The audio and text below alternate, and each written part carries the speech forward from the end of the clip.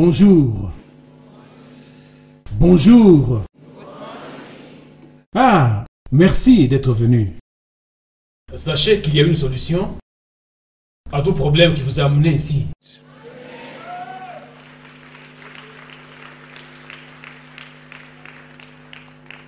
Un être humain ne cherche Dieu que quand il est en difficulté. Tous les êtres humains ne peuvent commencer à chercher Dieu qu'en cas de difficulté.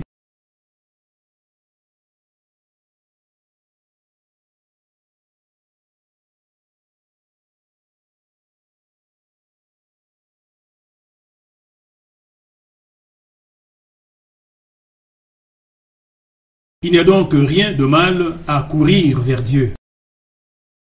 Il n'y a rien de mal à ce que vous alliez dans la maison de Dieu. Car c'est la place des solutions.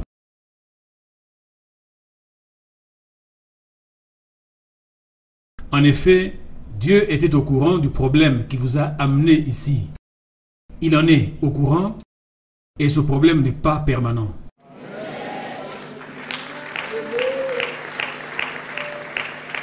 Votre problème est juste un moyen de transport que Dieu utilise pour vous amener ici. Un problème ne devrait pas être permanent. Un problème devrait vous conduire vers Dieu. Tout problème devrait vous diriger vers Dieu. Car Jésus-Christ est la réponse à toutes les questions fondamentales de la vie. Remerciez Dieu pour avoir pris une bonne décision. D'autres personnes ont un problème similaire, mais ils se rendent au mauvais endroit. Les pas d'un homme juste sont ordonnés par le Seigneur. C'est le Seigneur qui vous a ordonné d'être ici aujourd'hui. Ce n'est pas vous. Pourquoi avez-vous attendu tout ce temps pour venir seulement aujourd'hui? Dieu y est impliqué. Dites à votre voisin, Dieu est impliqué dans votre vie. God is involved in my life. En fait, la plupart d'entre nous ici sont épuisés par rapport à la vie. La raison en est que, jusqu'à présent, vous vous trompez de combat. L'homme n'est pas votre ennemi. Votre ennemi, c'est Satan. Si vous combattiez un homme, vous vous trompiez de combat. Dites à votre voisin, qui est votre réel ennemi? Satan. Jusque-là, combattez-vous Satan ou combattez-vous un homme? Discutez-en. Have you been fighting Satan or have you have been fighting men? Soyez honnêtes et discutez-en.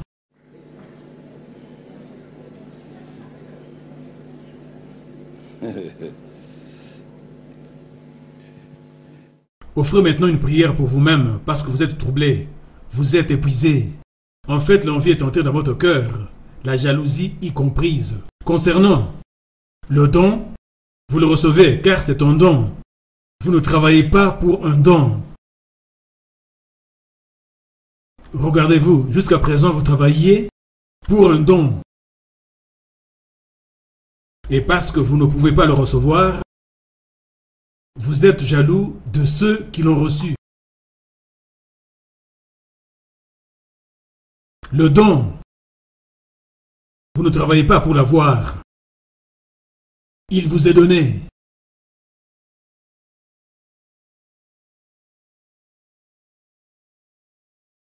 Il y a un manque de maturité manifeste dans le corps du Christ. Car il y a des gens qui viennent à l'Église à la recherche d'un don et non pas pour le salut de leur âme.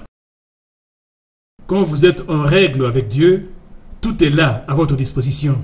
Je parle de ce qui vous appartient. Le fait d'être chrétien ne signifie pas que toute chose vous appartient. Non, il y a des choses qui vous appartiennent Et ce sont ces choses-là que vous aurez. Cessez l'envie, cessez la jalousie. Vous êtes en train de perdre votre temps. À présent, offrez une bonne prière en disant Seigneur, avant toute chose, purifie-moi avant de me bénir. Priez. Priez.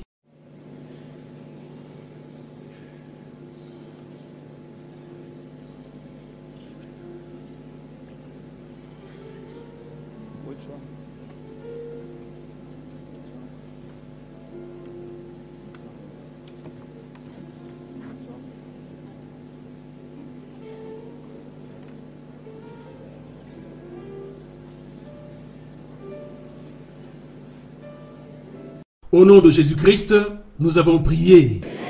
Nous avons prié. Dites à votre voisin, ne retournez pas là d'où le Seigneur vous a retiré. Don't go to where God has taken Thank you you. away from. Dieu vous a préservé. Dieu m'a préservé. Pour quelle raison? Discutez-en. God has kept you. God has kept me. For what reason? Discutez-en. Discutez-en. Ne me regardez pas. Je n'ai pas de réponse pour vous.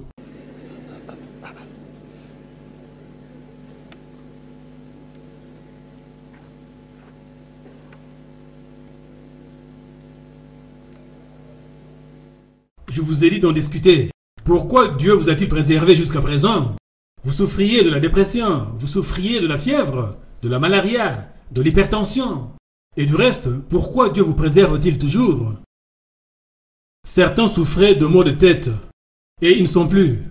Mais vous, vous aviez toutes les maladies précitées, et vous voilà encore en vie. Dites à votre voisin. Others had headache, but they are no more. Oui, pourquoi Dieu vous a-t-il préservé? Si vous arrivez à répondre correctement à cette question, votre vie changera. Par contre, si vous n'y répondez pas correctement, ah, je ne sais pas. Dans cette optique, où préfériez-vous vous rendre? À une maison de festin ou à une maison de deuil? Vous avez dit? Le faites-vous? Beaucoup de gens aiment festoyer pour afficher une joie qu'ils n'ont pas en réalité. Vous ne pouvez pas vous connaître dans une maison de festin. Vous vous connaîtrez plutôt dans une maison de deuil. Ceux qui aiment festoyer s'éloignent de la possibilité de savoir qui ils sont. Pendant que je suis encore en vie, je travaillerai pour toi, davantage pour toi. Je ferai tout pour toi, Jésus. Mais quel est notre problème? Quel est notre problème? Il y a plus de gens en dehors de l'Église que ceux qui sont dans l'Église. Où est le problème? Vous qui faites partie de l'Église, vous manquez de détermination et de courage. Les conditions actuelles de votre vie sont dues au fait que vous manquez de détermination. Vous manquez de courage. C'est tout. Vous pouvez avancer des excuses autant que possible. Vous pouvez évoquer des problèmes imaginaires. La vérité est que c'est vous qui êtes en faute. Vous manquez de courage. Vous manquez de détermination. Vous ne gérez pas votre vie. D'autres personnes sont en train de vous gérer.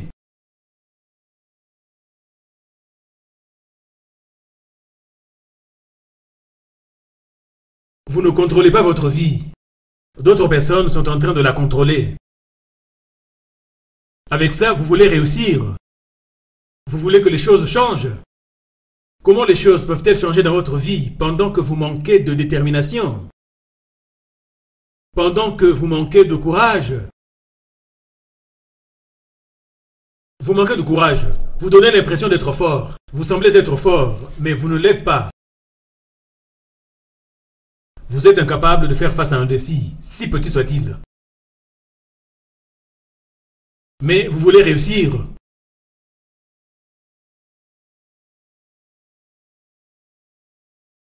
Toute chose que vous ne confrontez pas dans votre vie devient pire.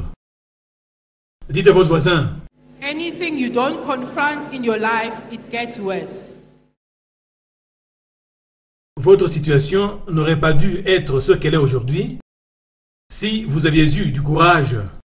Votre situation n'aurait pas dû être ce qu'elle est aujourd'hui si vous aviez eu la détermination de changer.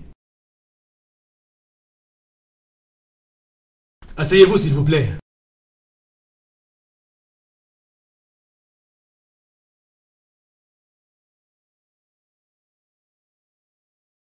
À l'instant où je vous parle,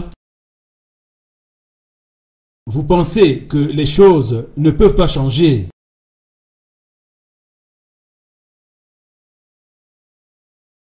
Vous êtes juste assis à la maison, gaspillant votre temps et convaincu que les choses ne peuvent pas changer dans votre vie et que c'en est fini pour vous. Qui vous l'a dit?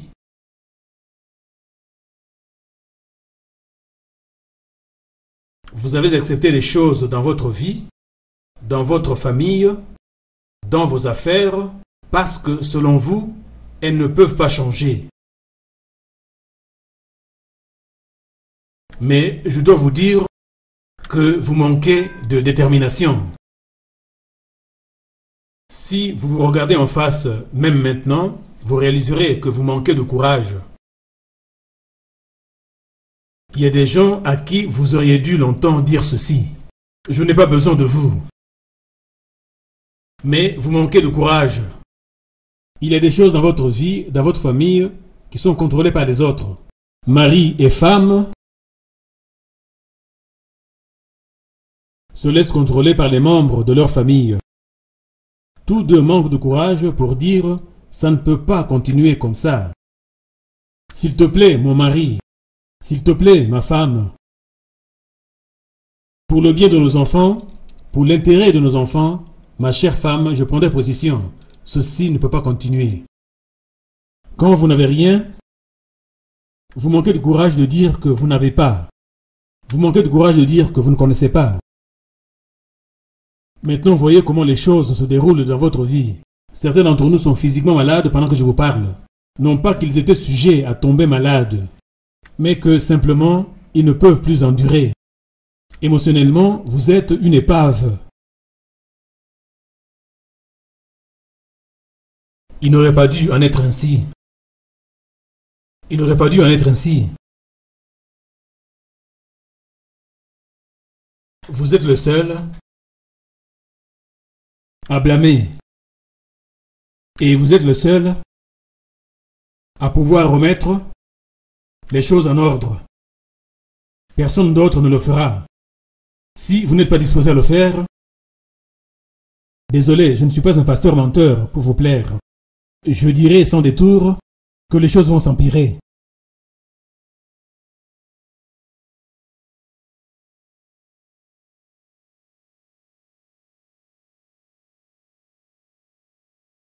Je ne suis pas venu ici pour vous plaire, mais pour vous dire la vérité, pour que vous puissiez réussir.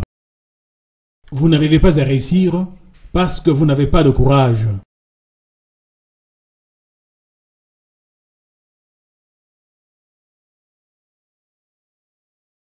Écoutez, vous donnez une dimension exagérée à tout défi qui se présente sur votre chemin.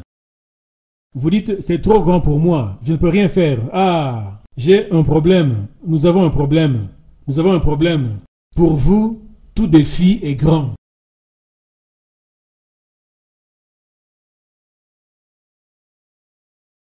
Actuellement, vous êtes en train de faire face à des défis, et selon vous, ces défis sont insurmontables. C'est dur, dites-vous. Ça m'intimide, ajoutez-vous. Qu'est-ce qui est en train de vous intimider?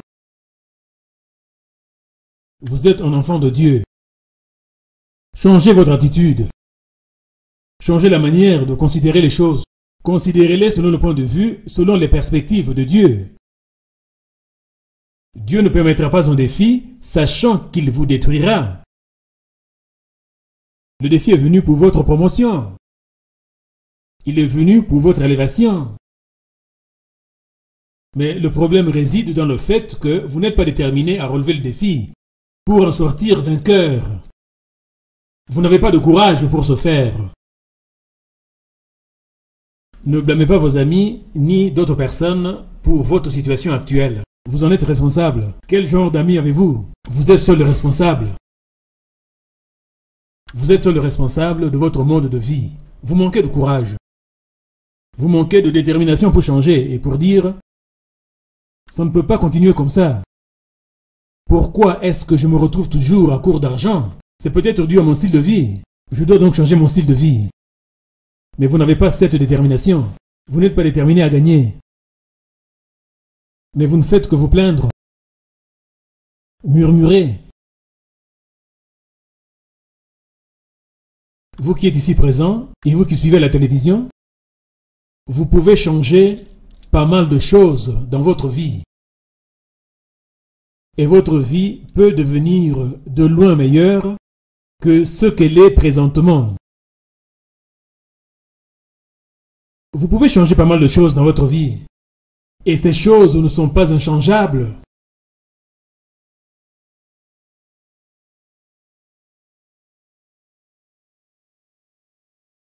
Vous avez toujours été défaillant sur un point. Vous savez qu'il y a des choses qui clochent. Vous savez très bien que vous pouvez mieux faire.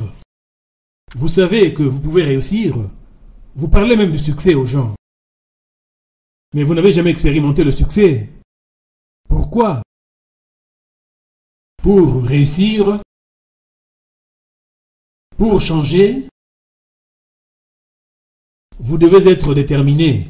Ça, c'est un. Vous devez avoir le courage. Ça, c'est deux. Et quand tout ceci est en ordre, ajoutez-y l'effort. Il n'y avait pas d'effort dans ce que vous faisiez. Prophète, je vais changer mon comportement. Je vais changer ceci, disiez-vous. Parfait. Mais avec zéro effort.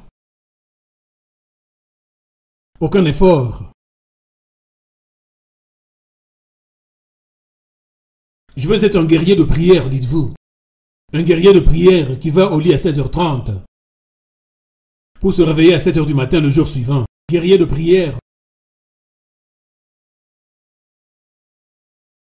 Aucun effort.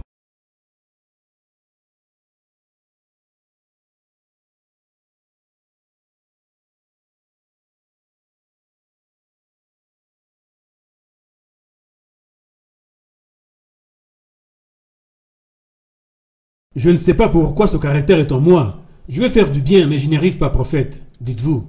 Parfait, mais quel effort fournissez-vous? Dieu veut vous aider. Mais quant à l'effort, il ne peut pas le fournir à votre place. Vous, vous fournissez l'effort. Alors Dieu vous accordera son assistance. Dites à votre voisin, The effort should come from me, then God will give. Vous tous dans l'auditoire et dans la salle annexe, qu'est-ce qui vous a poussé à venir ici aujourd'hui? Et vous qui nous suivez à la télévision, pourquoi accordez-vous votre attention à ce message? Parce que vous comprenez qu'au-dedans de vous, vous avez des aptitudes d'aller plus haut. Vous avez des aptitudes au-dedans de vous et vous le savez. Vous savez avec certitude que là où vous êtes n'est pas votre niveau et que par conséquent, vous n'y appartenez pas. Mais je dois vous dire aujourd'hui que jusque-là, vous étiez en train de sous-estimer vos aptitudes. Dites à votre voisin que jusque-là, il sous-estimait ses aptitudes. You have been underestimating your ability. Encore, s'il vous plaît. You have been underestimating your abilities. En effet, vous vous considérez incapable de changer. Autant que vous vous considérez incapable de réussir. C'est pourquoi vous voulez toujours que les gens vous donnent quelque chose. Non C'est pourquoi vous voulez que les gens vous encouragent tout le temps. Non Vous êtes en train de sous-estimer vos aptitudes.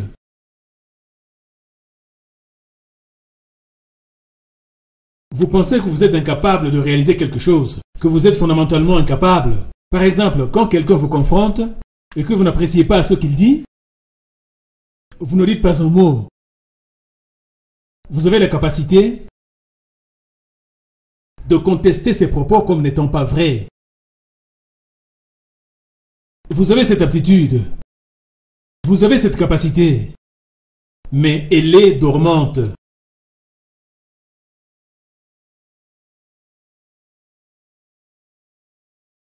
Les choses qui vous ont défié dans la vie étaient dues à votre manque d'effort. Vous n'avez fourni aucun effort. Vous vous dormez pensant que les choses vont changer demain. Comment ça? Elles vont s'empirer. Voyez combien de gens s'érigent en conseillers dans votre vie. Par milliers, parce que vous n'avez pas le courage de dire « c'en est assez ». Vous ne pouvez pas me dire ça. Ne le faites pas. Je m'occupe de ma vie, occupez-vous de la vôtre. Pourquoi avez-vous peur de prendre un chemin différent de celui des gens? Dont vous ne partagez pas les opinions et les actions Pourquoi ne le faites-vous pas? Non, ce sont mes amis, dites-vous, des amis qui sont en train de vous égarer. Il ne doit pas en être ainsi. Vos affaires sont en train de couler et vous savez qui est responsable de cette débâcle. Mais vous n'avez ni la détermination ni le courage de lui dire Écoute, nous réussissions dans le passé, mais je pense que maintenant, vous êtes en perte de vitesse. Pouvons-nous nous séparer à présent? Séparons-nous donc. Toi, tu prends ton chemin, moi, je prends le mien. Même Père Abraham a dû le faire avec son propre neveu. Lot, pourquoi est-ce que vous n'arrivez pas à vous séparer de quelqu'un? Discutez-en. Je vous ai dit d'en discuter avec votre voisin. Why are you failing to part company? Je vous ai dit d'en discuter entre vous. Ne regardez pas en bas.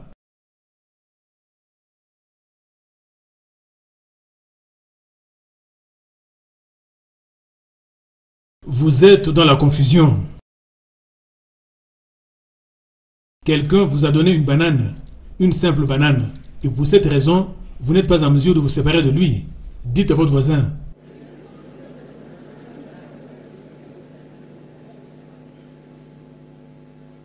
à cause d'un repas prêt à manger de McDonald's.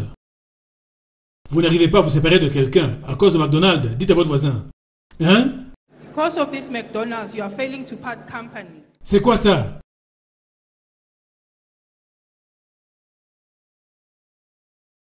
Il en va de même pour certains d'entre nous dans leur propre maison. Votre partenaire fait une chose inacceptable, mais vous ne réagissez pas pour lui dire ⁇ Je t'aime ⁇ Mon partenaire ou ma partenaire, mais ce que tu fais est mauvais. C'est pas bon du tout, s'il te plaît. Considère l'intérêt de nos enfants, considère notre avenir. Celui qui est déterminé dans la vie est celui qui connaît son avenir. Quand vous connaissez votre avenir, vous avez de l'espoir.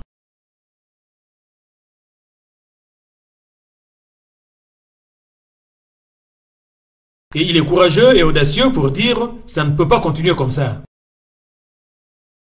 Absolument pas. Vous avez toujours évité les défis dans votre vie. Vous les avez toujours évités, en effet.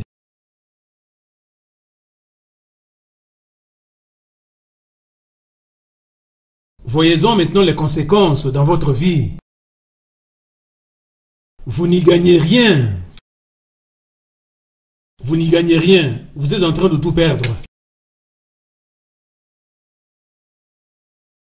Vous pensez gagner quelque chose quand on vous fait circuler dans une voiture assis sur un siège avant. Est-ce votre voiture?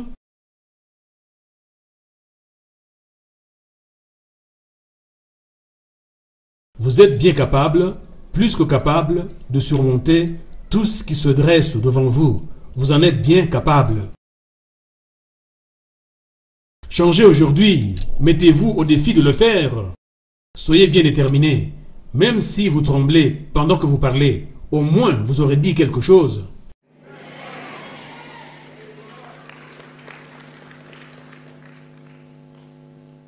Et c'est le commencement du succès. Vous pouvez trembler autant que possible. Vous pouvez pleurer, mais dites la vérité. Comme en disant par exemple, je ne sais pas comment le dire, mais merci pour l'électricité, merci pour la nourriture. Oui, allez-y.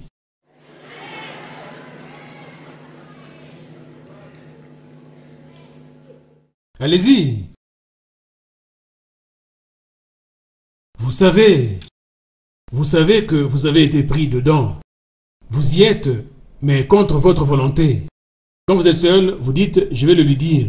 Mais quand vous le voyez, quand vous la voyez, dites à votre voisin.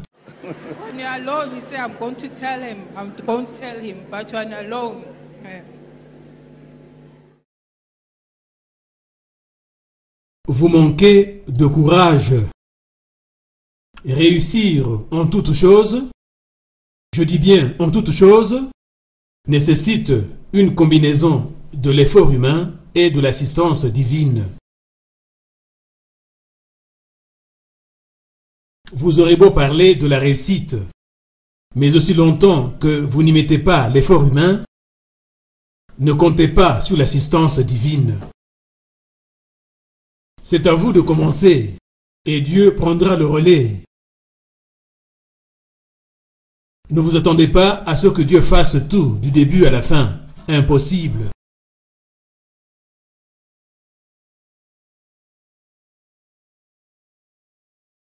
C'est impossible.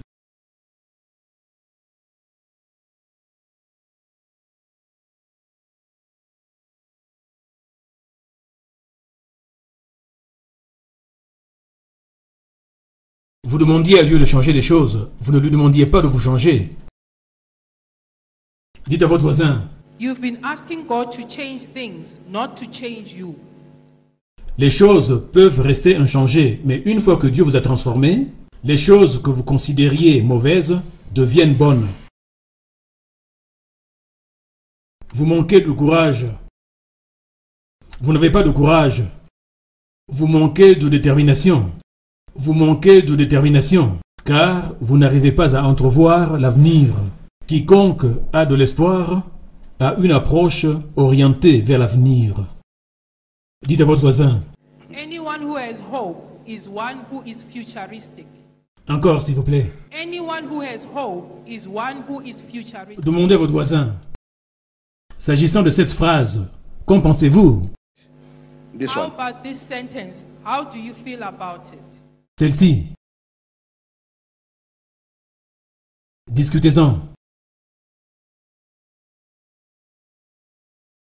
Avez-vous de l'espoir ou est-ce fini pour vous?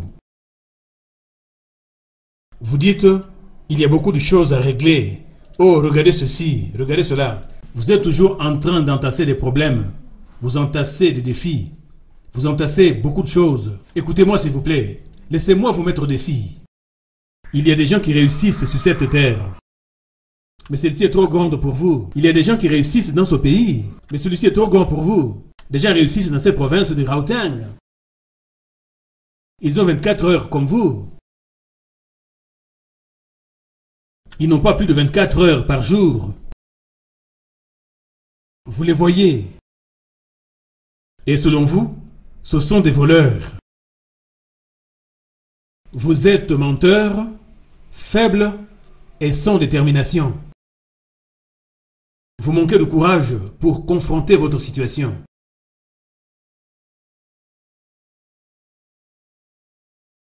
Chaque jour, vous dites à votre famille, les choses iront pour le mieux. Les choses iront pour le mieux. Mais que faites-vous pour qu'il en soit ainsi? Les choses iront pour le mieux, dites-vous, et vous êtes assis sur une chaise qui du reste a fini par s'user. Les choses iront pour le... La chaise est en train de vous dire que rien n'ira pour le mieux. Faites quelque chose.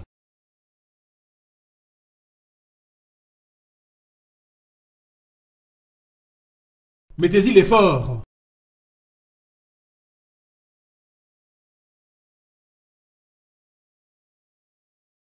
Les choses iront pour le mieux, dites-vous. Mais vous connaissez tous les programmes de la télévision. Comment est-ce possible? Dites à votre voisin. Things will be better, but you know all the programs on television. How come? Cela montre que vous avez une dépendance à l'égard de la télévision. Les choses n'iront jamais pour le mieux.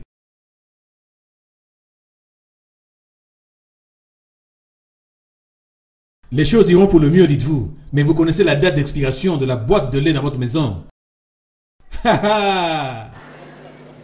Dites à votre voisin. Comment connaissez-vous la date d'expiration du lait? Vous êtes toujours dans la maison en train de contrôler le frigo.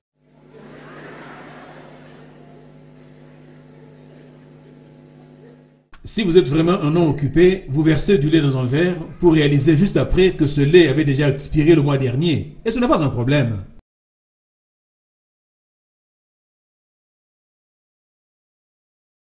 Laissez-moi vous dire ce qu'est le courage. Vous êtes ici présents, vous politiciens, hommes d'affaires, étudiants, femmes ménagères, maris et femmes, et tout être humain. Le courage est un atout de caractère. C'est un atout. Demandez aux voisins, avez-vous cet atout? Do you have this asset in you? Discutez-en. Certains d'entre vous ici ne peuvent pas discuter avec leurs voisins, par manque de courage. Dites à votre voisin. Some of you, even discussing, you can't. You have no courage. Pas du tout. Certains se sentent intimidés par leurs voisins. Ils regardent par-dessus l'épaule de ces derniers. J'ai dit voisin, ce n'est pas par accident que vous êtes assis à leur côté. Discutez avec votre voisin. Ayez le courage de lui parler. Dites-lui ceci. Je ne vous aurais pas adressé la parole, n'eût été l'instruction du prophète.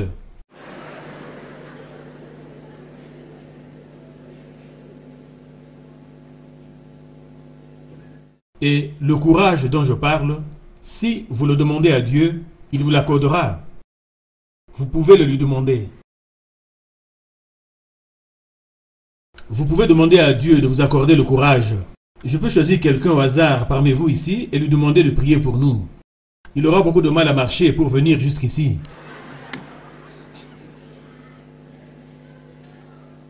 Qu'est-ce qu'il manque? Courage. Pourquoi beaucoup d'hommes sont-ils encore célibataires?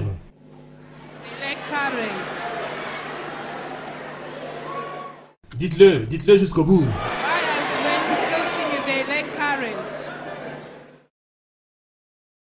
Ils sont intimidés par la beauté d'une femme.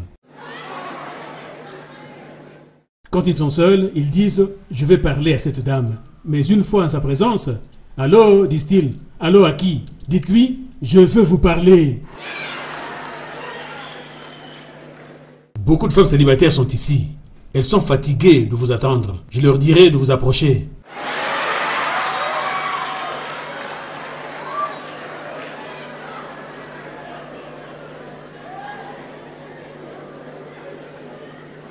C'en est trop. C'en est trop. Vous dites que c'est ce que vous êtes. Ce n'est pas vrai. Vous manquez de courage. Vous manquez de détermination. Vous n'en avez pas. Vous parlez à haute voix uniquement quand vous êtes seul. Quand vous priez chez vous à la maison, vous dites Seigneur, donne-moi cette femme. Elle sait que je l'aime. Mais allez le lui dire. Dites-lui que vous l'aimez.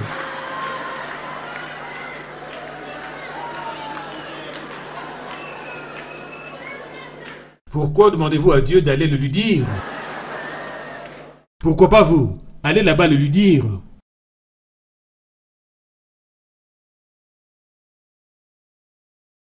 Vous manquez de courage.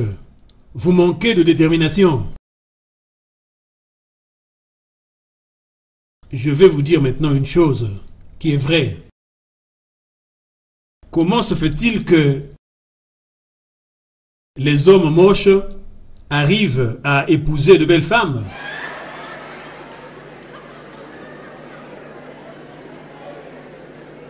Ce qui est vrai. La raison est simple.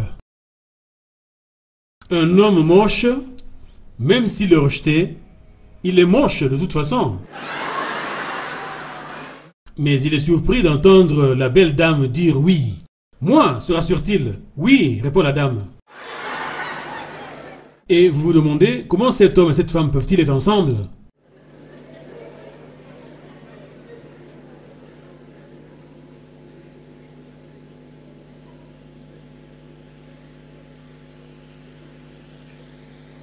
Quand vous examinez votre vie à la lumière de ce message, vous réalisez que vous êtes le seul responsable de vos échecs pour avoir toléré cette situation. Cependant, ce n'est pas que la situation née de vos échecs soit inchangeable.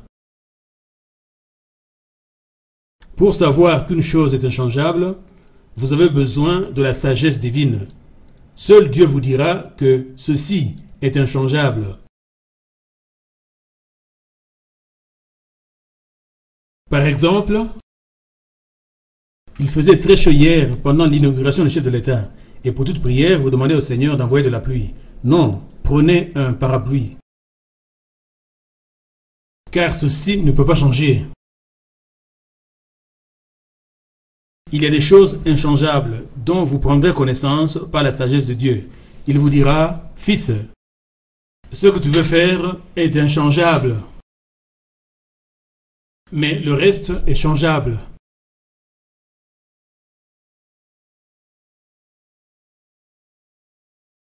Vous pensiez que vous étiez courageux. Vous ne l'êtes pas. Maintenant, vous le réalisez. Vous n'êtes pas courageux.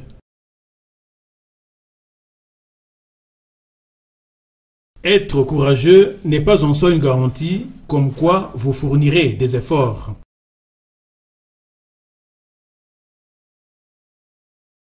Beaucoup d'entre nous savent que s'ils étudiaient, ils amélioreraient leur vie. Mais ils n'étudient pas. Ils ne fournissent pas d'efforts. Vous dites, si je fais ceci, cela arrivera. Oui, mais vous ne fournissez pas d'efforts pour ce faire.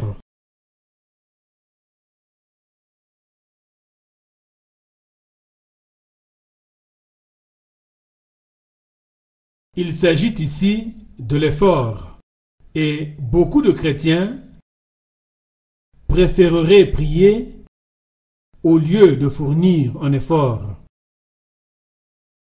C'est pourquoi nous nous cachons derrière le jeûne et la prière. À quoi vous a-t-il servi de prier pendant deux ans pour avoir une compagne, un compagnon de vie? Pendant deux ans. Partenaire, ce partenaire, est-ce un ange?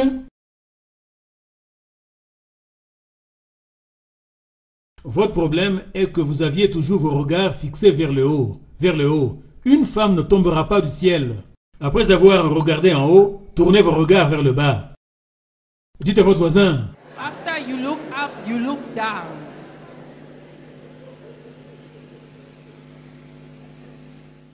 faites des efforts.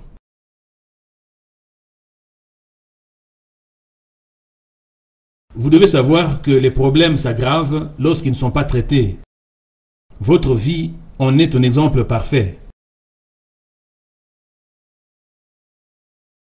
Les problèmes donnent naissance aux problèmes comme une mère donne naissance à un bébé. Et ces problèmes dérivent des problèmes intérieurs qu'on appellerait ici grand-mère. Vos problèmes ont donné naissance à d'autres problèmes. En d'autres termes, des problèmes enfants sont nés de vos problèmes. Et vous dites maintenant que vous ne savez quoi faire.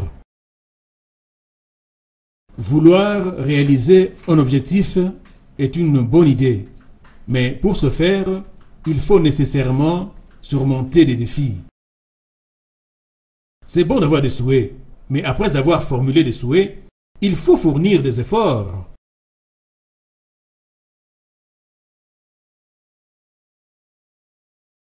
Ainsi, dès aujourd'hui, changez ce qui est changeable dans votre vie.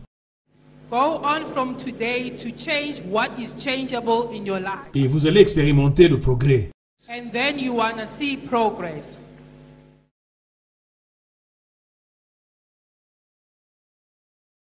Vous n'avez expérimenté aucun progrès parce que vous n'avez rien changé. Vous parlez du progrès, mais sans fournir un quelconque effort. Vous dites, je vais abandonner le métier de conducteur de camion pour faire ce travail-ci.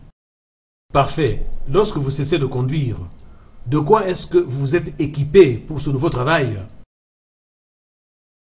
Rien du tout. Donc continuez à conduire.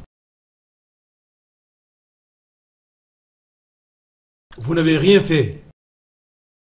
Donc rien ne changera. La situation va plutôt s'empirer. Je disais à quelqu'un que pendant notre enfance et notre adolescence, l'université, c'était pour des personnes aux cheveux gris. Mais à nos jours, des enfants de 21 ans détiennent le premier diplôme universitaire.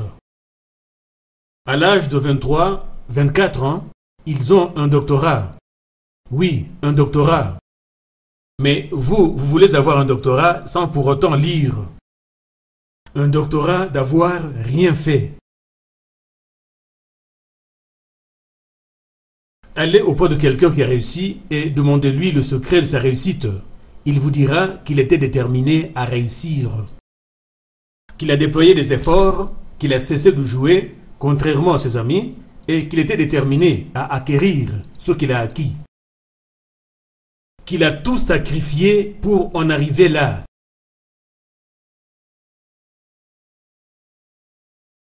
Certains d'entre vous ici ont des amis qui sont docteurs, je parle ici de médecins. D'autres encore ont des amis qui sont des avocats. À nos jours, si vous voulez leur rendre visite, vous passez par la réception. Dans le passé, vous jouiez ensemble au football. Mais vous, vous vous rendez à son bureau et vous dites Je suis venu voir mon ami. Mpo, est-ce que Mpo est ici? Et la secrétaire de répondre S'il vous plaît C'est la réaction de la secrétaire, de la réceptionniste. J'ai sa carte de visite, retorquez-vous. Vous voulez dire euh, Monsieur l'avocat, reprend-elle. Oui, l'avocat, voici sa carte de visite. Je vais le voir. Non, pas aujourd'hui, car il est occupé, lui répond la secrétaire. Monsieur, voulez-vous prendre un rendez-vous? Car monsieur l'avocat est très pris aujourd'hui. Non, madame, dites-lui que nous étions ensemble à l'école primaire. À l'école primaire.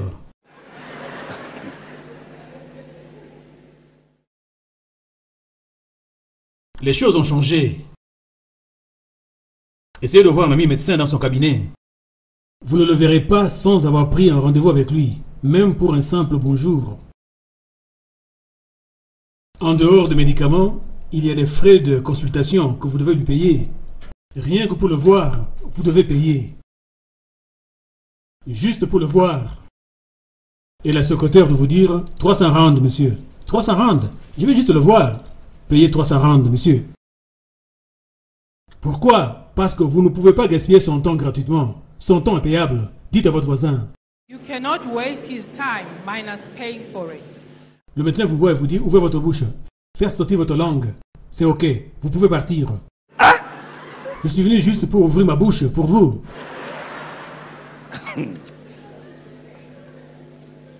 C'est un exemple type de détermination. Ces gens étaient bel et bien déterminés. Qu'est-ce que vous êtes en train de faire? Secouez quelqu'un. J'ai dit, réveillez-vous et faites quelque chose pour votre vie. Wake up and do something with your life. Encore. Wake up and do something with your life. Un jour, nous devrions entendre dire à la télévision, voici ce qu'est devenu une telle personne. Quoi? C'est vrai? Un membre de l'Église? Alléluia, un membre de l'Église? Puissiez-vous être cette personne Soyez cette personne. Ce que je vous dis à présent est que je suis en train de vous administrer une injection de courage, de détermination. Qui est-ce qui m'entend aujourd'hui? Je ne vous entends pas. Je ne vous entends pas.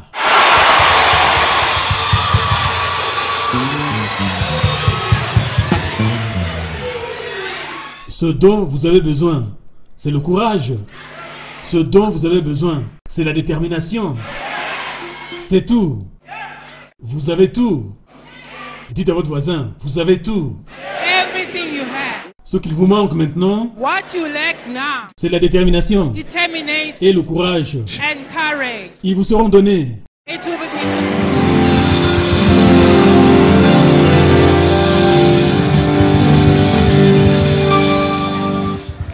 Vous retournerez à la maison aujourd'hui plein de courage pour opérer ce changement.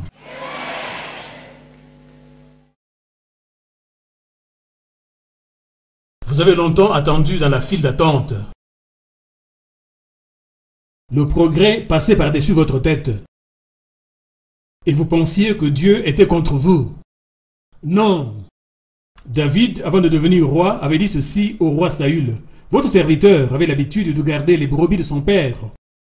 Et quand un lion ou un ours venait en enlever une du troupeau, je courais après lui, je le frappais, et j'arrachais la brebis de sa gueule. Et s'il se dressait contre moi, je le saisissais par la gorge, je le frappais et je le tuais. David racontait toutes ces choses à son maître Saül à cause du géant Goliath. Il lui disait en guise d'encouragement personnel.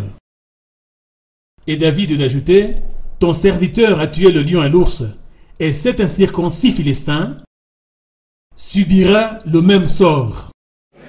Ça, c'est le courage. Ça, c'est le courage.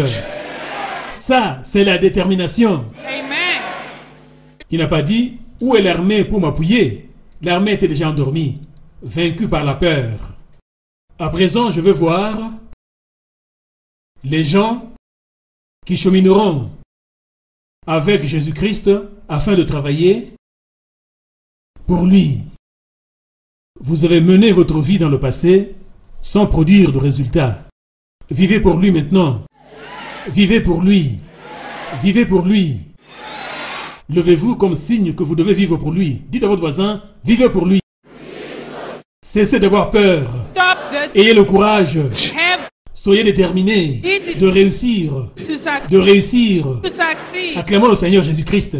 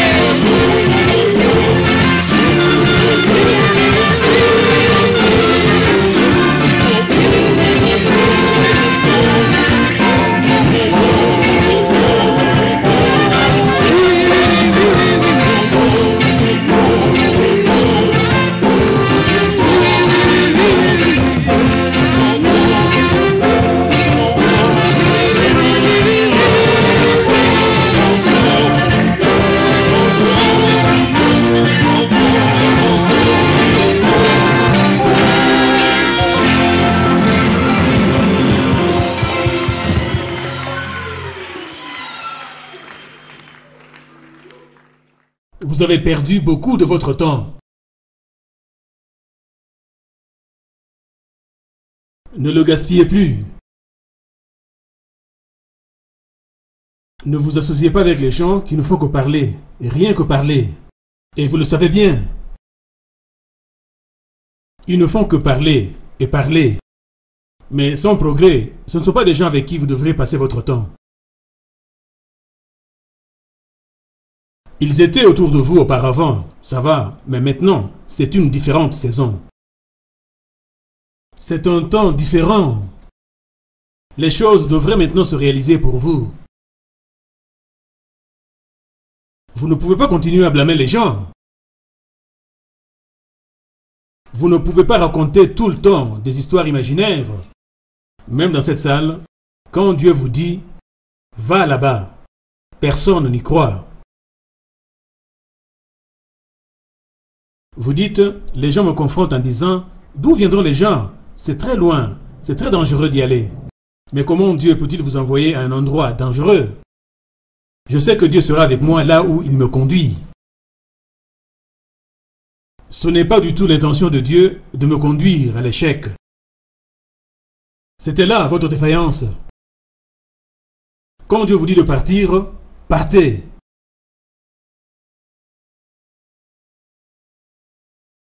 Qui attendiez-vous? Il y a de grands esprits ici. Il y a de grands politiciens ici. Il y a de grands hommes d'affaires ici. De grands entrepreneurs ici. Mais vous êtes là à vous asseoir et à vous plaindre. Disons que vous jeûnez et priez.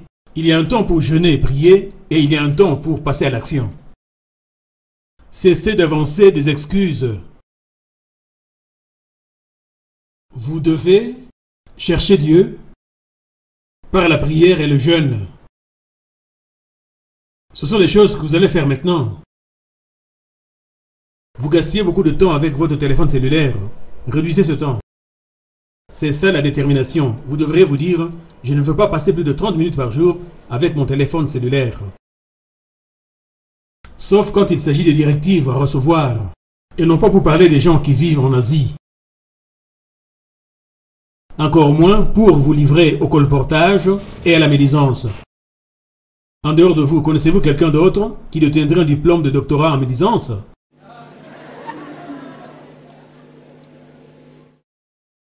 En cas de panne de votre téléphone, vous vous précipitez pour en acheter un autre. Quel progrès réalisez-vous? Je suis en train de perdre des gens, dites-vous. Mais vous n'êtes pas un médecin. Vous ne travaillez pas pour les services de renseignement. Vous n'êtes pas un infirmier non plus. Tout ce que vous savez faire, c'est de lire la date d'expiration sur les boîtes de lait. Et vous avez besoin de téléphone pour ça. Vous n'êtes pas un service taxi sur appel. Il y a des choses dont vous n'avez pas besoin. Absolument pas. Beaucoup de choses encore en votre possession ont été des instruments de tentation contre vous. Débarrassez-vous-en. Débarrassez-vous-en. La détermination signifie que vous êtes déterminé à réussir. Si je vais écouter les gens, je n'aurais pas été ici en train de vous enseigner, de prêcher. Il me suggérait de tenir le culte dans une salle de classe à Yeovil, un quartier de Johannesburg. Allez à Yeovil, me disait-il. Voyez combien vous avez été mal orienté. Vous n'êtes pas vous-même, sans aucun effort de votre part, sans détermination et sans courage. En conséquence, vous avez festoyer ce qui n'est qu'une fausse vie.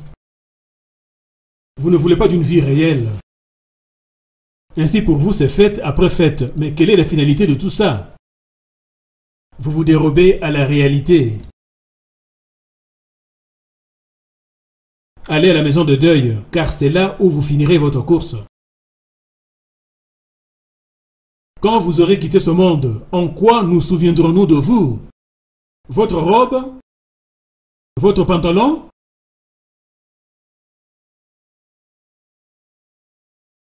Je dis que nous tous, nous pouvons réussir dans nos domaines d'appel respectifs. Quand vous ne connaissez pas votre domaine d'appel, vous allez entrer en concurrence avec moi pour prêcher ici. Parce que ceci n'est pas votre domaine d'appel, Dieu vous a-t-il dit d'aller prêcher à Impact? Si vous êtes un prédicateur, Dieu vous dira où aller prêcher. Mais vous, vous voulez le faire ici. Pourquoi? C'est un signe que vous ne connaissez pas votre domaine Vous, vous travaillez à la banque. Est-ce que je suis venu compter l'argent avec vous? Vous êtes médecin. Est-ce que j'ai fait une injection à quelqu'un avec vous? Respectez l'appel l'un de l'autre. Quand vous savez qui vous êtes, vous n'allez nullement essayer d'impressionner les gens. Parce que vous connaissez votre office, vous connaissez votre rôle. C'est tout. Vous aurez beau me critiquer ou me dire de moi, vous n'êtes pas mon patron. Jésus est mon patron.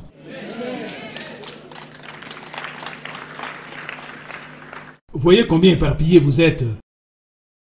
Vous avez été là-bas, là-bas, là-bas, en haut, en bas, grimpant dans l'arbre et j'en passe. Parfait. Après avoir fait tout cela, quelle est la conclusion de votre vie? Demandez à votre voisin. Posez-lui la question suivante. À votre âge, quelle est la conclusion de votre vie? At your age, what is the conclusion of your life? Qu'en dirons-nous? What should we say?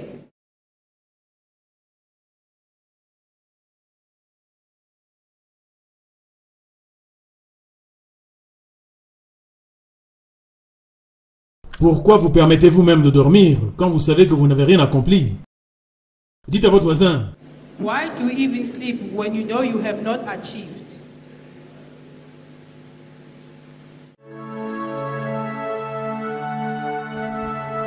Merci d'avoir suivi.